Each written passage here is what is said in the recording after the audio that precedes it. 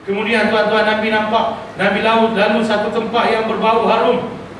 Ha, Nabi tanya, ha, apa tempat yang bau harum ni? Ha, kata kata Jibril, ia adalah kubur Masyitah dan suami dan anak-anaknya. Ha, Masyitah, suami dan anak-anaknya. Ha, Okey tuan-tuan. Jadi rupa-rupanya yang tempat wangi itu ialah kubur Masyitah yang kita selalu dengar.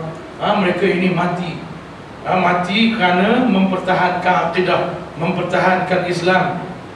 Sebab itu kita kena faham bahawa orang yang berkorban kerana kebenaran Islam dia akan menerima penghormatan di sisi Allah. Kadang-kadang penghormatan tu kita nampak kat dunia lagi tuan-tuan.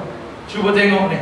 Ha, ini gambar sahabat-sahabat kita di Gaza yang syahid yang syahid dalam perjuangan di Gaza dibunuh oleh Israel ha, Tetapi kita nampak ha, Buktinya mereka syahid. Mati kerana Allah Dan diberi penghormatan. Hidup di dunia lagi nampak penghormatan. Mereka mati dalam keadaan tersenyum ya, Tersengih Dengan wajah yang senyuman yang manis ya, ha, Ini sangat, ini lagi jelas. Mata, kelopak mata pun terbuka. Mata macam masih hidup. Mata dia macam masih hidup. Bercahaya-cahaya.